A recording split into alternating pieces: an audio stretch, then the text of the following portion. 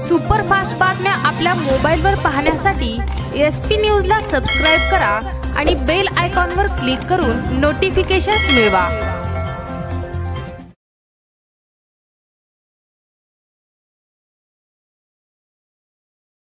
सोलापूर लोकसभा मतदारसंघातील काँग्रेसचे उमेदवार माजी केंद्रीय मंत्री सुशीलकुमार शिंदे यांनी आपल्या कार्यकालामध्ये केलेल्या कामाची माहिती देत आपला प्रचार सुरू केला होता.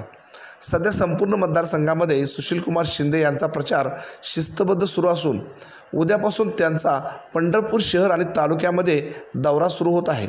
उद्या सकाळी नऊ ते एक वाजेपर्यंत पंढरपूर शहरातून काँग्रेसचे उमेदवार सुशीलकुमार शिंदे यांची भव्य पदयात्रा निघणार असून ही पदयात्रा शहरातील शिवतीर्थापासून सुरू होणार आहे. ही पदयात्रा बहादुरी चौक नाथ चौक भजनदास चौक प्रदक्षिणा मार्गावरून रोहिदास चौक आंबेडकर नगर करत सावरकर चौक भोसले चौक अर्बन बँक करत पुन्हा शिवतीर्थावर ही पदयात्रा येणार आहे. यानंतर सायंकाळी सात वाजता शिवतीर्थावर जाहीर सभा होणार आहे.